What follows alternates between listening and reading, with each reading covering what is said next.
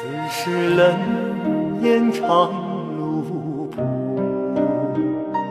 梅花雪月交光处，一笑寥寥空万古。风后雨，迥然影寒恨天宇，一笑寥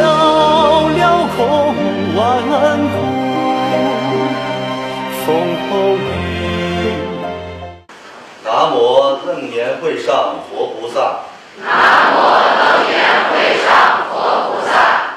南无楞严会上佛菩萨。南无楞严会上佛菩萨。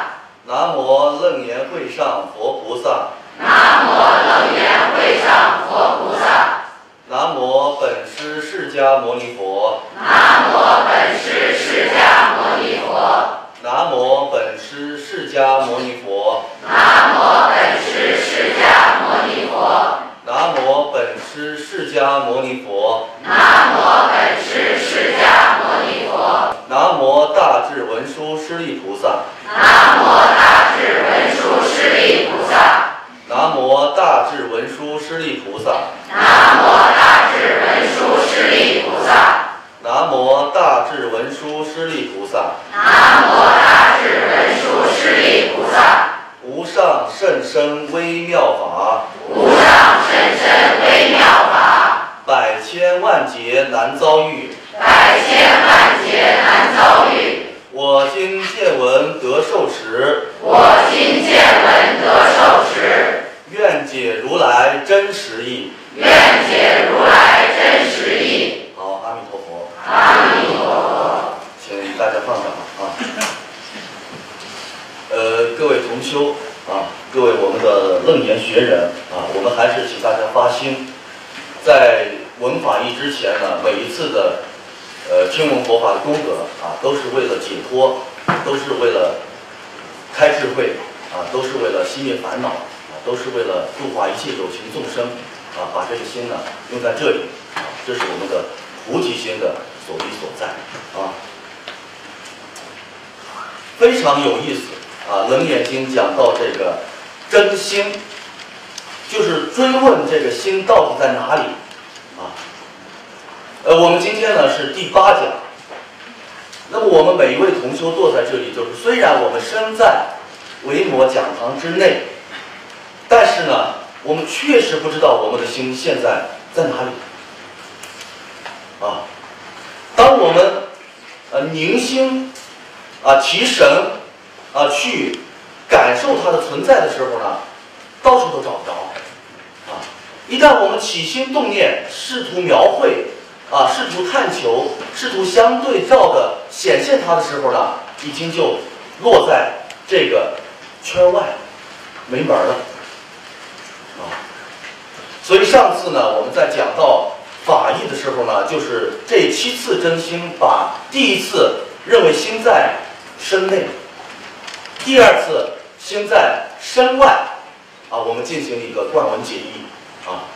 呃，今天呢，一开始我就祈愿大家呢，能够把这个神形凝提起来，啊，凝提起来了，我们要把这后面的五处真心大段的灌完，然后把它的法义呢做个略微的讲解以后呢，我们再把它总括起来进行这个呃理解啊。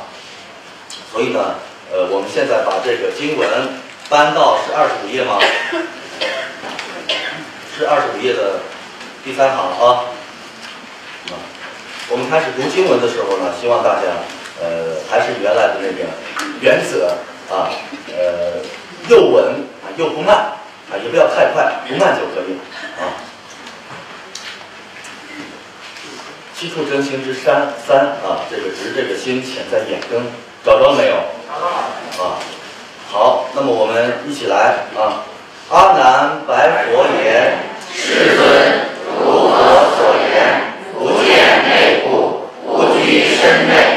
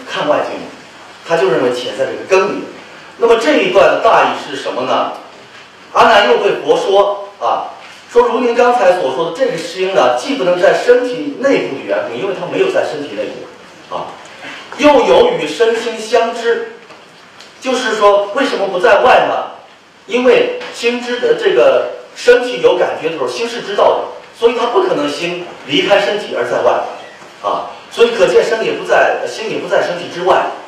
那么我现在对佛您想想，我思维说知道心在一个处所，一个妄想妄想，一个执着又起来。那么佛就说到说，你说说这个心在何处所啊？我们这里讲到，阿难就是说，此心呢，一定是潜伏在眼根之中。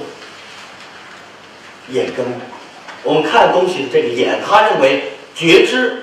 啊，能感觉的这个心的作用的点就在眼根里面，就我们生理的眼根之中，啊，而且还打了一个比方，啊，说好比有人取一个琉璃碗，啊，当然在这个经典里面写到的是说琉璃碗，我们也可以理解成我们平常戴的什么呀，眼镜嘛，最契合的是我们戴的那个那个叫什么隐形眼镜，啊，他就认为说合在自己的双眼上，然后虽然。呃，有物合的时候，但是呢，他的视觉不会有障碍，啊，所以说这个眼根随时看什么东西，心就随时能跟进上面分别两知。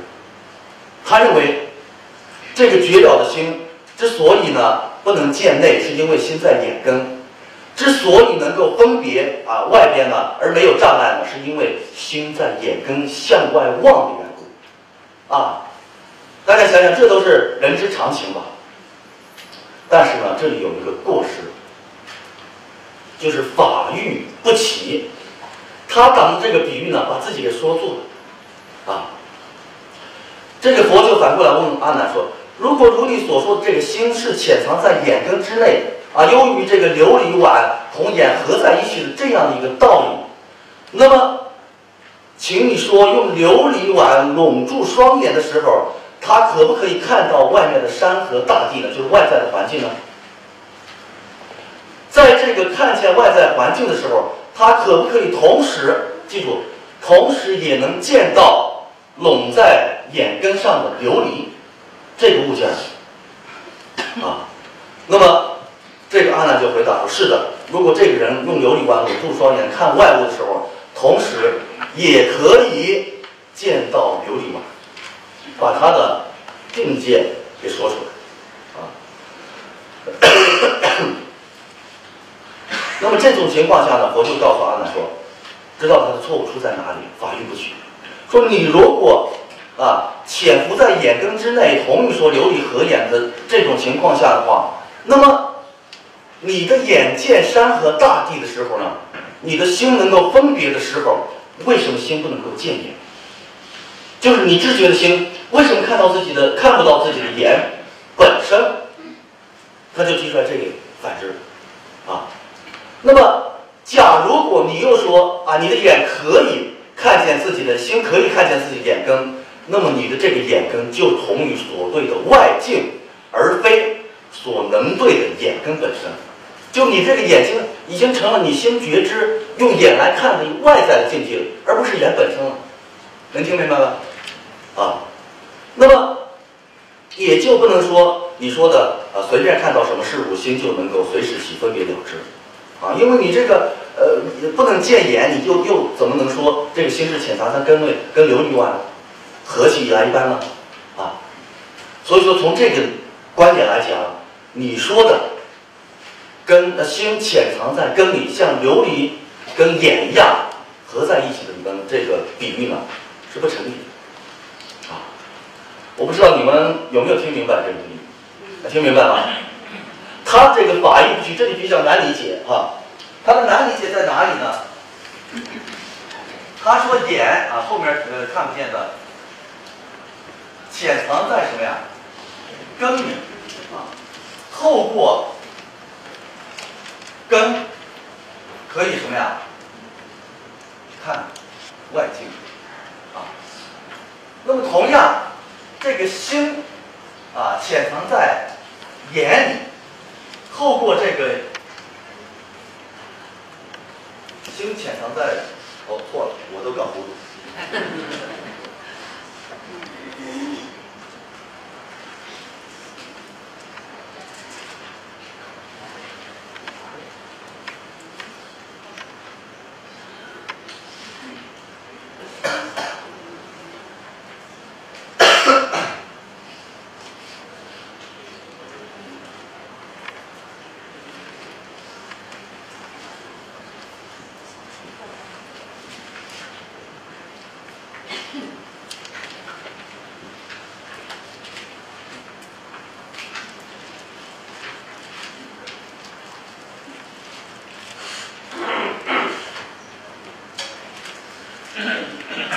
什么意思呢？我们来来了解一下这这这个话的含义啊。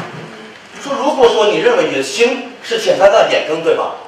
你认为心是透过眼根，透过这个根来见到外境的，那么我就反问了一下：你既然能透过根看见外境，来用作眼，佛就反问说：眼，你不是自己打了个比喻吗？说眼透过琉璃，就是这个眼透过琉璃可以，这个潜在琉璃中透过琉璃看到外境。这不是阿难打的比喻吗？那么佛就反问一下，说你这个眼透过琉璃看外境的同时，不要忘了，眼可以透过琉璃，还可以知道琉璃本身，能看见琉璃本身，对吧？你的眼睛。但是你这个心透过根啊来看外境的时候，可是你的这个心就不能够见到眼本身。在这种情况下，用心啊来跟根作为是阿难所立的心潜藏在根里。它的比喻是什么呀？用眼来比喻心，明白吗？用琉璃来比喻眼，它是有层次的啊。这个层次如果你对不齐的话，这个比喻你就明白了。它现在的错点在哪里了？既然你说心透过根啊能看看外境，那么你还打了个比喻说眼透过就如同眼透过琉璃来看外境一样。可是你现在眼透过琉璃的话，眼还能见到琉璃本身，但是心透过根看外境，心却见不到眼。所以你这个比喻是什么？有错误的啊！这是第一错，就出在这里，这叫法欲不齐。所以第三处真心说心潜在眼根是不成立的啊！这是这一段，我们贯过去了吧？啊，好，那么我们要像这个佛跟阿难的答辩一样，我们来穷追啊，不舍啊，再继续啊，七处真心之之四。直心崩明暗，找着了吗？找到了没有？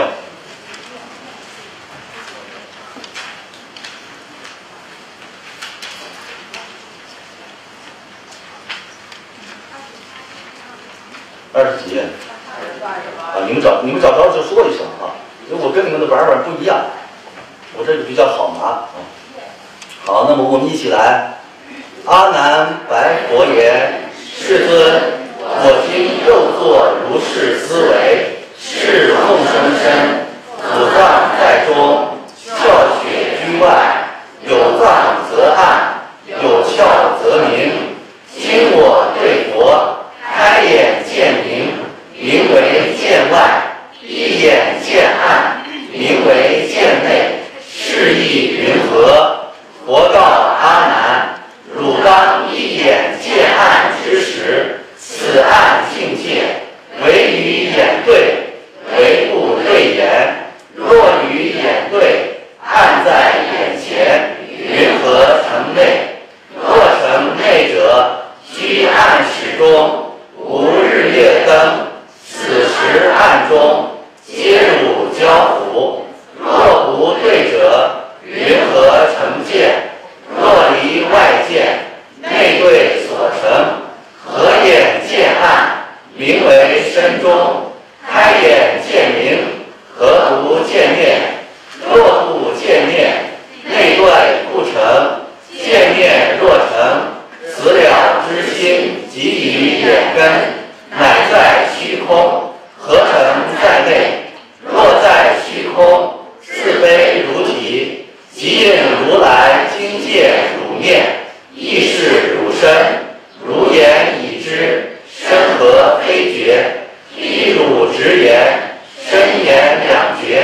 应有二之，既汝一生，应成两佛。是故应之。汝言见暗，明见内者，无有是处。阿弥陀佛。阿弥陀佛。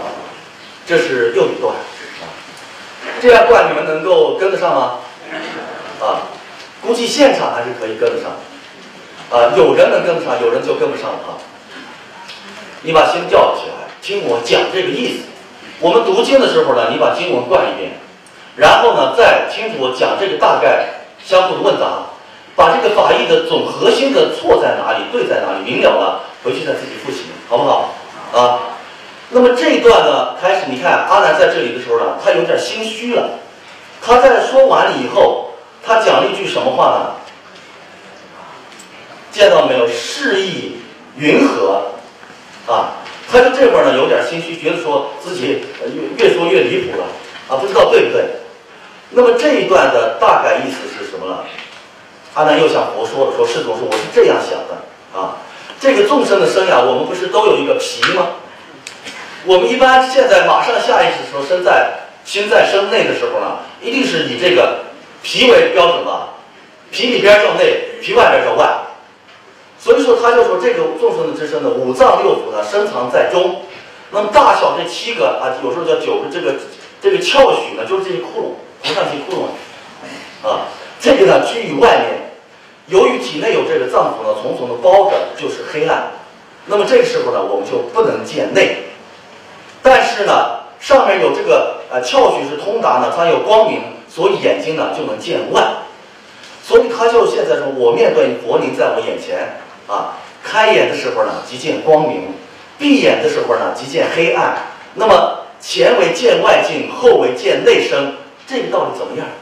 就是我觉得心在明暗之间，您觉得对不对呢？这是阿难的问，听明白了没有？啊。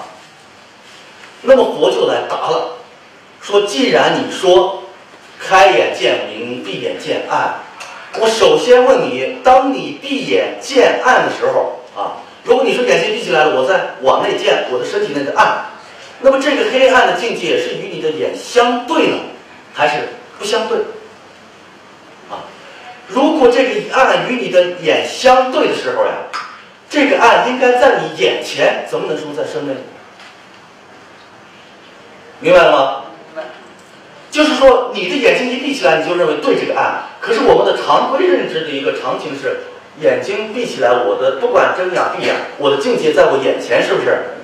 那么你眼睛闭起来见这个暗，这个暗在你眼前，而不是在你身内，你却说在你身内。啊，如果你说这样可以成为你身内的话，那么你自己居在一间暗室里边，也没有灯啊，也没有日月，那么你暗室里面的空间岂不是都成你的内脏吗？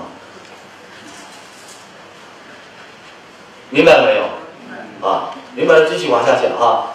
如果你所见这个暗的境界，啊，你认为就是再进一步说，是离开对外的见，是反观内部的话，说明你这个心对于啊这个心和眼呢，对于自身有反观的功能啊。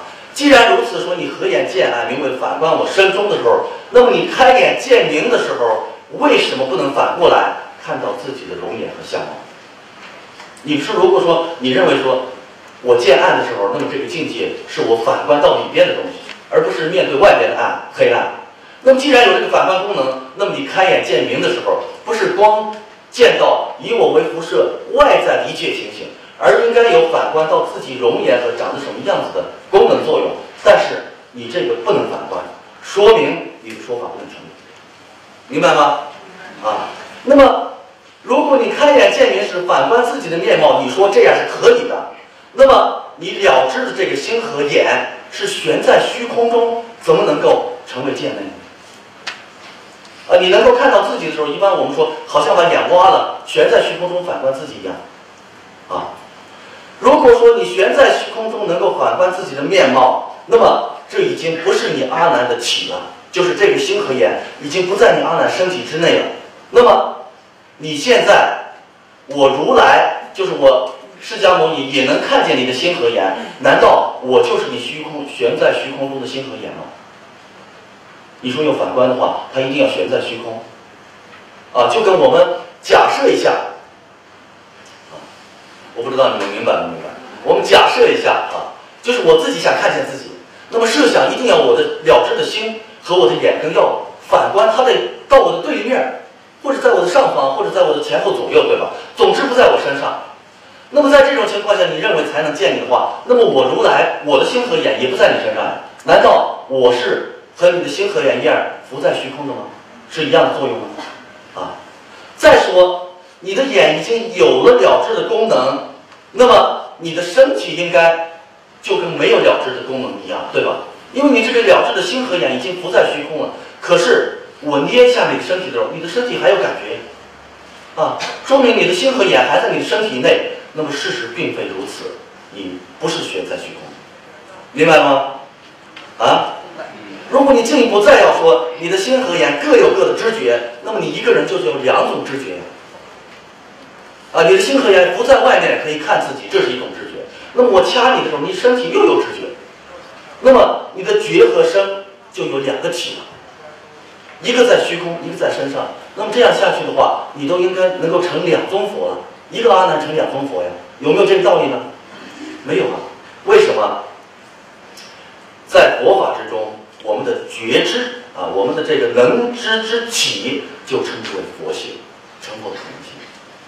你现在又在身中，又在虚空，有两个的话，那你就一个人能成两尊佛。所以说，闭眼见暗，名为见内，没有道理；开眼见外，名为见外，没有道理。你的心绝不在。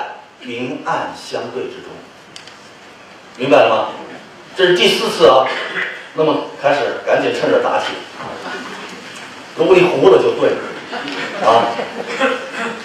趁热打铁，我们来一起来看第五，真心什么呀？直心随有啊。一起来啊。阿难言。我常闻佛开示四众，由心生故，种种法生；由法生故，种种心生。我今思维即思维体，使我心性随所何处，心则随有，亦非内外中间三处。佛道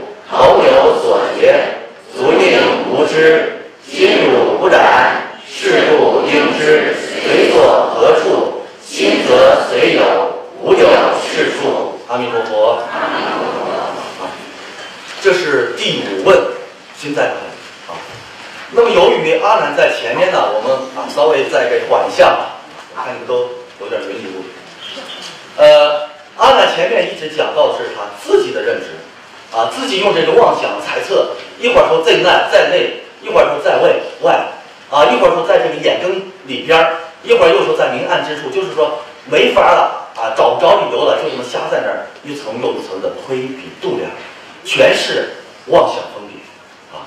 在这种情况下呢，他实在说的没法说得过佛了。想起什么呀？哎，以彼之道来治彼身了啊！就是说，既然如此吧，我就从你说的道理上来下手。我在这里常听到佛您开示，啊，开给这个四众弟子开示的时候说什么？由心生故，种种法生；由法生故，种种心生。啊，他在这里讲到说啊，既然是这样的话，我现在就思维说，哎，我这个能思维的这个体就是我的心性，随根尘啊心和境相对升起的当下，我觉知的心就在这里。什么时候升起当下这个觉知之心，那么心的所在就在当下所生的相对觉知之中，啊，他是来这样的认为。那么的确由心生故，种种法生；由法生故，种种心生呢。这是佛在讲法时候讲到的这个大乘法义啊。当然，这个也是推通这个大小二乘的。如果叫小乘的道理来，怎么理解这个心生法生，法生心生呢？小乘呢，它只讲前六眼、耳、鼻、舌、身和意识，主要讲意识，啊，最深能讲到这里啊，所以他把六识为心所对的色、声、香味、触、法为尘为法，啊，在这种情况下，由这个六六识的内心来攀缘外境，有起攀缘心，分别对境的时候呢，境随心起。这个时候呢，就叫做心生法生，有心生，所以才有外境的法生，啊，反过来，由于心生的由外界的法升起的时候，它有反作用力啊。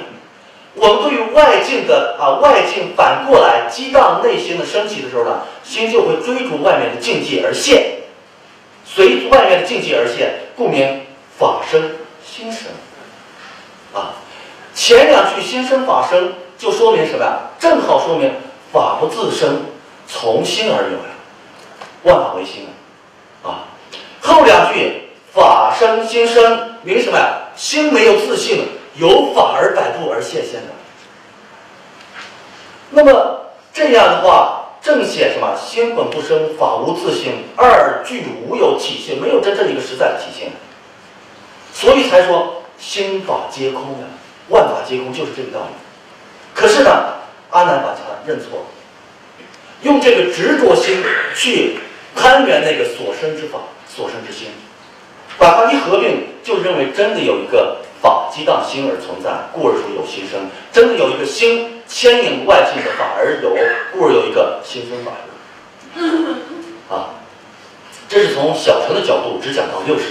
啊，如果从大乘的角度来讲的话，就主要以第八阿赖耶识为心。阿赖耶识内变根生就是我们的色身，外变气界山河大地，啊，就像一个黑非常粗的阿赖耶识，不是叫蚕食吗？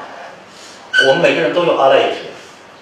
那么阿赖耶识这个种子就像一个很粗的树干一样，它会向上一长，分叉而什么？再去枝叶发果，去繁茂。那么在这种情况下，本来是由于这个叶识阿赖耶识被无名一熏。成了染的这种情况的时候呢，它就会转本有的这个佛性的我们的这个智光如来藏的这个心体啊，转为什么呀？能见的见分和所见的相分，啊，就像一棵树，花长起来两个枝，那么其中的一个枝就认为我是主体，相对另外一个枝呢是外在的境界，其实是一时所变，为无名一熏啊，在这种情况下。以能见的见风，以能见故呢，望现外在境界的相风，此就是心生而法生，法随心而生起。啊，在这个法随心的生起的，他主观的这个见风，又会去认识被动的去这个认识被动的这个相风境界。在这种情况下呢，由于境界为缘，就会升起一些相来，种种相。比如说我能。了知分别的相，我们觉得这是一种志相。比如说一个人的我从昨天到今天的相，那么这就是一种相续相。比如说一个东西为我所有，我要争取过来，这就叫直取相。比如说他叫什么名字，他叫什么呃名字，这个高矮长短、胖瘦美丑等等概念情形，这就叫做名字相。啊，一切相生起来的时候，所以才有辗转升起，这就叫法生心生。我们的第八阿赖耶识，才有第七识支持它的见风为它的相风，就认为有一个我的存在。在这种情况下，第前前六十，包括第六意和前五十，种种的输送、传导、分别、互相互作增上、相互风生水起这种感觉一样，启动我们的自我认知功能和对外证的执着妄想，这就叫心生法生，法生心生。这是从大乘的第八阿赖耶识启动的角度而言，啊，所以在这个解生密经里边讲到说，唯识所现度，这里我们用点唯识佛法讲到的是什么呀？他说，唯识所现的时候啊，此中无有少法能生少法，就是真实情况之的真如理智，没有少法能生，没有任何一个法真实能够生起来。但是，此心如是生时，就是我们的第八识为根本，第七识为执着，第六识为分别，第五识前五识去搜集情报，所有的八识相互作用启动的时候，既有如是。影像显现，我们现在的修身法身，法身精生，全是身心世界，就是一种影像，唯识所现影像，啊，这是从大乘的角度来讲，啊，那么阿难就把这个大小二乘的法义呢错解了，用执着心现虚妄相，啊，执这个虚妄相，他认为升起的心的时候，就在当下升起的这个这个心境相对之时，生的法，生的心。啊，这个情况下呢，佛就告阿难说啊，如果说啊，你认为是对的啊，你说这个呃，心生法生啊，法生心生的，在这种情况下，那么佛就来反问他：如果说如你所说啊，随所何处心则有的话，那么这个心是有体还是无体呢？就是你能够觉照这个心是有体还是无体的？如果你能知觉的这个心，如果是无体的话啊，你看这里讲到嘛，若无有体而能合者，假如你这个执着心没有一个真实的体相，它是空无所有的，那么你现在说跟你的心跟心境相对一块升起的时候，合合而生嘛，那就等于说我们说有一个第十九界啊，有一个第七层一样，这样来说，什么意思呢？因为我们不是说六根对六尘产生六识，这是十八界嘛？这个法义大家知道吧？啊，这十八界其实就涵盖了整个宇宙万法所有众生的起心动念和精神和物质层面，都在这十八界中包含。细讲是十八界，粗讲是什么呢？就是外在的六尘境界。啊，那么外在这个六尘境界，你如果说没有体的话，你怎么能跟这个心法相对而合呢？你的心不是从心法相对而合而升起的吗？你没有提，怎么合呢？就是说无无意中又说出来有一个第十九界，又一个第七层，只有名字没有实体，没有实体，谁会相信有第十九界、第七层？不可以相信啊！所以从这点来讲，你就跟龟毛兔脚一样。我有时候呢，以前在学佛的时候，老是理解不了什么叫做龟毛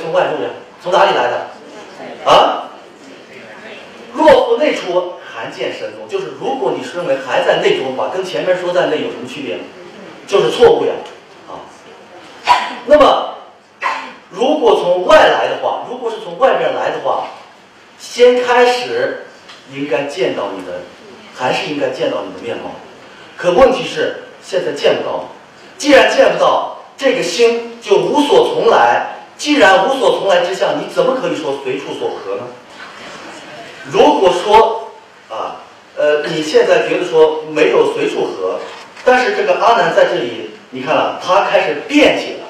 大家读到这句了，阿难言：见是其言，心之非言，唯见非意。什么意思呢？他说能见的是眼睛，眼睛只负责见，能了知的是什么呀？是心，心并不同于眼睛能见，所以如来说现在心为能见，就您说这个道理是不合我问的这个道理，那他开始反驳了。大家想想为什么说见？你看我们有时候很多啊修行的同修，他不能称之为说他的信仰不坚定，也不能说是他的修行不到位，可是他对佛法的认知，这种我对佛法的领悟的能力，我认为就是这样的，对的，这个呀。特别难修掉。阿难对他的本师释迦牟尼佛对在眼前的，他这会儿就急了，因为到山穷水尽处，他说的他没有一点点道理，我执意喷发的控制不住，说我说的不是这个道理，您错了，我说的是这个道理，就开始显现烦恼，深度的烦恼。啊，我们诸位同修扪心自问一下，啊，那佛就说了啊，既然你说是眼睛在见，那么我问你阿难，你的这个。呃，这个你阿难在这个房子中间的时候，你的门能够见外面的东西吗？什么意思呢？就比如说，你既然说是你的眼睛在见，心没有参与作用，那么这个时候你的心在内，那么你的身体就像一个房间一样，你的心在你这个房间里面，眼就像房间的门一样，你这个眼门能够见到外面的东西吗？门有知见的作用吗？有没有？没有啊，啊。那么你又认为说眼能够见的话，你看，则诸已死尚有眼从，应皆见物，什么意思呢？死了的人眼根还没有坏，死了的人眼睛还在他脑袋里面，为什么不能见东西呢？那你说现在说啊，眼睛在见，既然眼睛在见，怎么能叫死呢？反驳住了啊啊！再一个，进一步又讲了下面的一段话，你看阿难，又汝绝了能知之心，若必有体为复一体，唯有多体。找到没有？啊！再说你的能知之心，你既然有能知的心的话，这个心是有体的呀。那么你这个是一体呢，还是多体？你这个能觉的身是周遍整个身体呢，还是不周遍整个身体？啊！大家随着我的语言啊，不要看我啊，随着我的语言把这个这个心量提起来哈。如果是一体的话，假如你这个能知之心它是一体的话。那么我用手，刚才我们是捏了吗？手捏这个右胳膊的时候呢，一只胳膊的时候，你的四肢都应该有感觉，因为是一体的，对不对？可是你的其他没有感觉啊。再说，如果是一体的话，那么我这个捏就不应该有一个就在这个左胳右胳膊上捏，找到这个右胳膊上这个捏的这个点儿，为什么呢？不能说我捏在哪里，因为你的触是一体的。一体的你能够说我捏在哪里？一有哪里就成了分体了，不是一体，对不对？啊，再进一步，如果说你的这个心是变体的，那么刚刚子跟这个一体的是一样的道理，还是不可以。如果你的这个心不变体的话，假如果你的心不变体，你这个心的觉知只在那个所捏的这个地方，那么当我捏你的头，又同时捏你的脚的时候。你如果头有感觉了，先在头上，就不能在脚上，对不对？可是现实情况说，我捏头的时候，同时捏脚，头也有觉，脚也有觉，是不是这样的？所以在这种情况下，说明你说的随所何处，心则随有，没有道理。心不在随处而已。这是第几啦？第五。我们继续啊，再往下，七处真心之六。执心在中间，啊，我们来一起来看啊，一起来读。阿难白佛言：“世尊，我立闻佛与文殊等诸法王子谈实相时，世尊一言：心不在内，意不在外。如我思维，内无所见，外不相知，内无之故，在内不成；身心相知，在外非异。之故，腹内无见，当在中间。佛言：汝言中间，中义不迷，非无所在。今汝推中，中何为在？为复在处，为当在身。若在身者，在边非中，若中同内。若在处者，唯有所表，唯无所表。无表，表则无定。何以故？如人以表，表为中实，东看则西，南观成北，表体既浑，心应杂乱。阿难言：我所说中，非此二种。如世尊言，眼色为缘，生于眼识，眼有分别，色尘无知，时生其中，则为心在。佛言：汝心若在根尘之中，此之心体，为复兼二，为不兼二。若兼二者，物体杂乱，物非体之，成敌两立，云何为中？兼二不成，非知不知，即无体性，综合为相。是故应知，当在中间，无有是处。阿弥陀佛。啊，我们讲到这个心在中间啊，在根尘之中啊。前面呢是潜在眼根里边有一个微细他这里呢，他执着在根尘中间了，相对中间了啊。这里呢，阿难就开始对佛说了，说我也曾听佛名世尊与这个他把文殊菩萨也给拉出来了。啊，你看人多多会站队呀！啊，他们拉帮结派啊。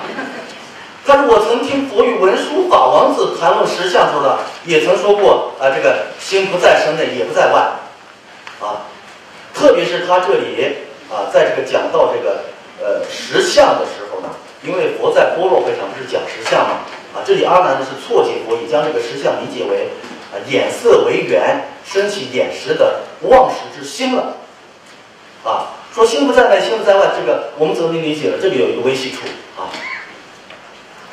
大家知道什么是实相吗？什么是实相？啊？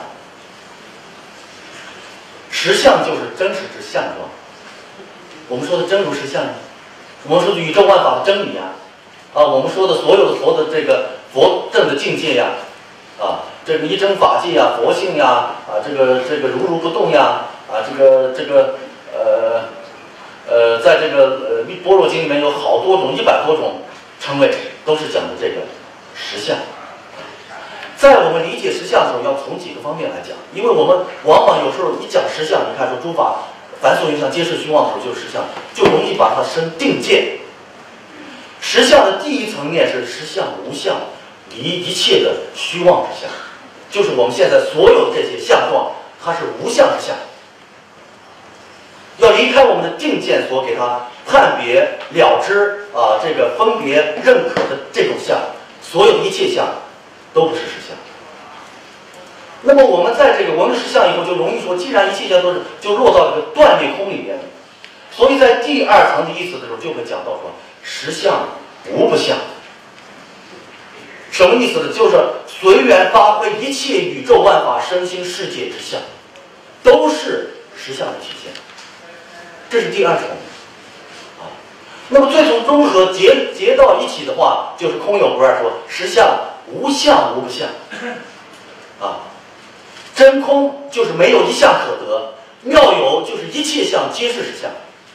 在这种情况下，你如果说它是有的话，就是定有，那就不对了，因为什么？它是属于妙有非有。你如果说它是无，但是它这个真空它是不无的、不空的，啊，它是离一切相，但是同时还要接一切法的，一切法都在其中。啊，所以说你若缘起，真妙有非有，真空不空，缘起性空，空有不二，这是叫做实相。阿难由于他的心性有别，他这个错解成，你看听到吗？哎，听到世宗跟那个呃文殊师利法王子在谈到的时候说，说到实相就是说，你不在内，你不在外嘛。啊，佛说的实这个实相的意思就是说，你所有相不在内相，不在外相，他就应该说，那么应该在中间嘛。可是不要忘了，中间也是一个相，错解佛意啊。所以在这种情况下。他就说啊，给就是对佛说说应该在中间，啊，佛就反问他说说依你所说，如果在中间的话，首先啊，大家看到没有？这个呃，若在生这个这个中必不迷，非无所在，就是说中间的话，一定中间是一个方向。我们不是说东西南北才有中吗？对不对？那么并非没有一个定性的坐标所在有。空间坐标，那么 你现在推的推断这个中间，这个中间就在究竟在什么地方？是在你的身体之外，还是在你的身上？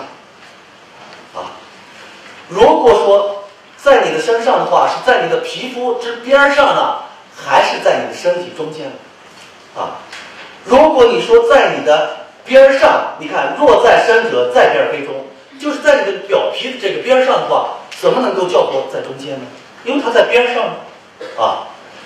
如果它在你的中间，那么你就要跟我说一个清楚，这个中间在哪里？因为我们中间它一定有一个坐坐标，一定有一个处所呀。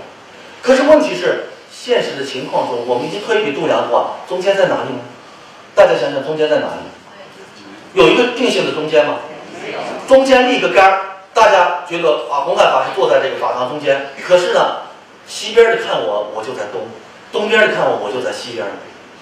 我是在中间吗？前边的看我，我在后；后边的看我，在前。没有一个定性的坐标，所以这里讲到是什么呀？东看则西，南观城北啊。表体是混乱的，既然是混乱的话，那么你怎么能把它叫做定性在中间呢？心不在中间，啊，可是这个阿难呢还不太能接受，他又开始辩解。后面《楞严经》里面有一句话叫“偷心不死，难出尘”，啊，他辩解什么呢？说我所说的中呀，不是你上述的两种情况。正如世宗所说的，我所说的宗在哪里？在眼识与色尘相互为缘而能生眼识，就是眼有分别，但是外在的色境呢无知。根尘相对而生的实的时候，升起的时候呢，就是心就在这个中间，根与尘相对的中间，他是这么来理解的。那佛就又问梵问说：“你这个心处于根尘之间，那么你这个心体，就是你能觉得这个心是跟根和尘在一块儿呢，还是不在一块儿？就是这里讲到为不兼二，为不兼二，这个意思明白了吗？啊，如果。心跟根尘啊，两个为啊在一块儿的话，那么你的色是无知的，你的根是有知的，知跟无知能在一块儿吗？两个敌对的东西怎么能在一块儿呢？成敌两立怎么能在一块儿？你的心怎么能在它的中间呢？如果心兼这个根成相对的话，那么你的这个心应该有两个呀，一半属于根，一半属于尘，堕在两边，怎么能说心在中间呢？明白了吗？所以说，心在中间，无有是处呀。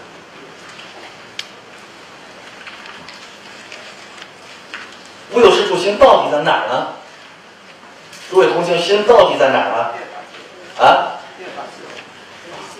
变法界，法界在哪儿？变在哪儿？有变就有不变。心到底在哪儿了？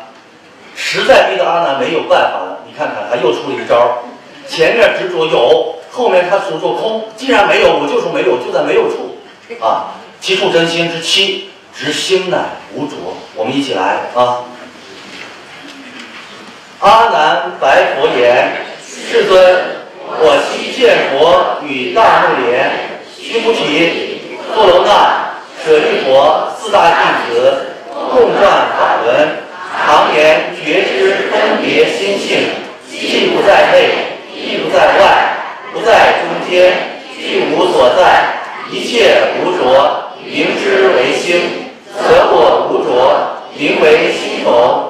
佛告阿难：汝言觉知分别心性，具无在者，世间虚空水陆飞行，诸所物象，名为一切。汝不得者，唯在为无，无则同于龟毛兔角，云何不着？有不着者，不可名无。无相则无，非无则相，相有则在。云何无着？是故应知，一切无者，名觉之心，无有是处。阿弥陀佛。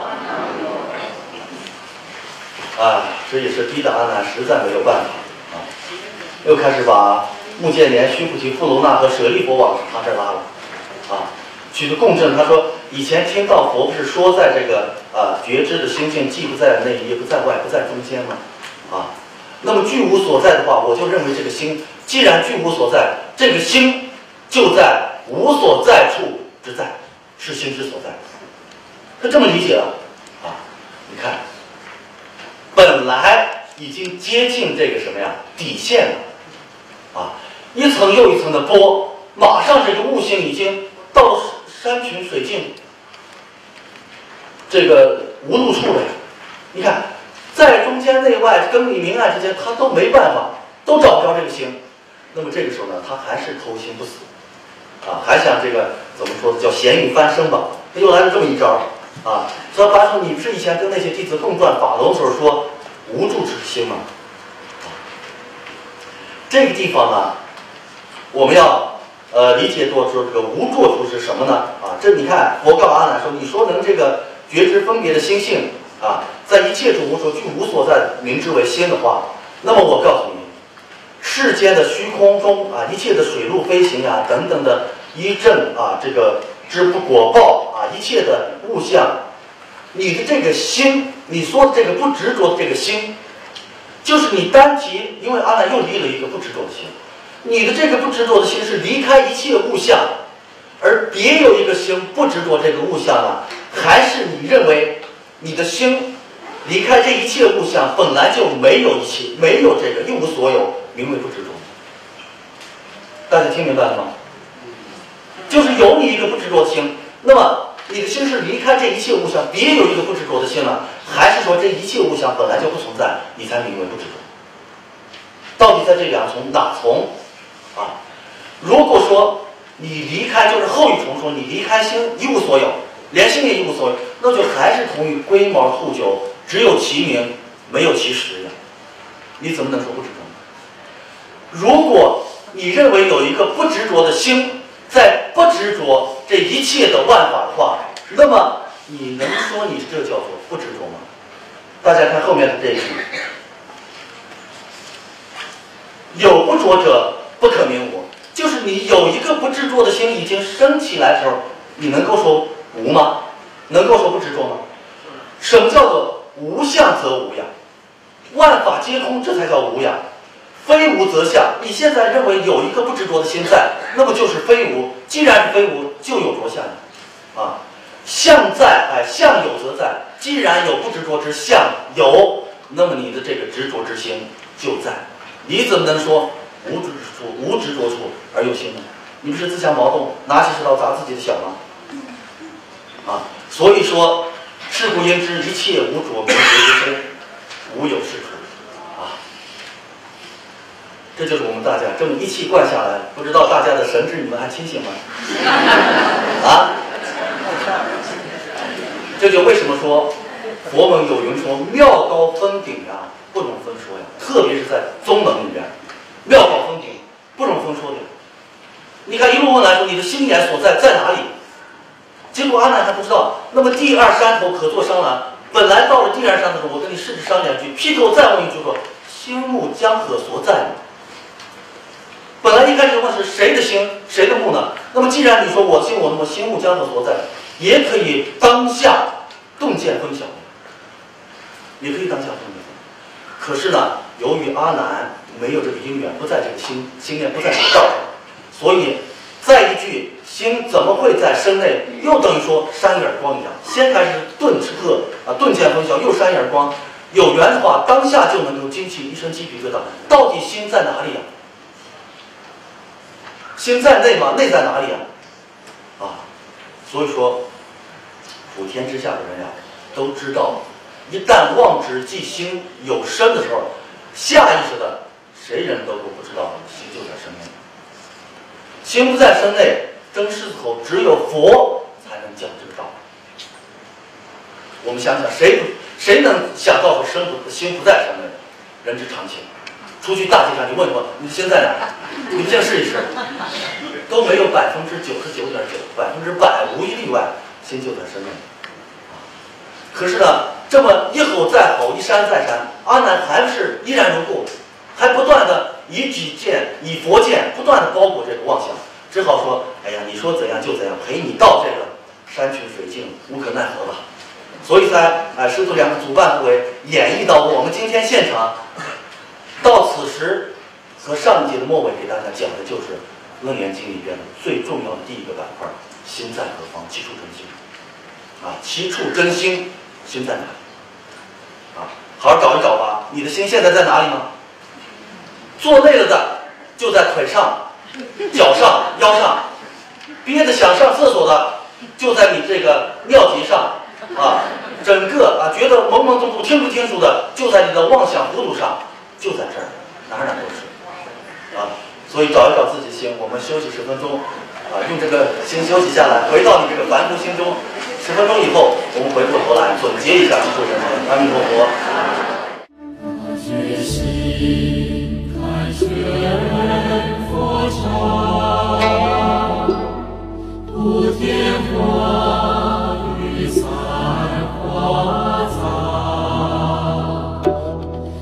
何须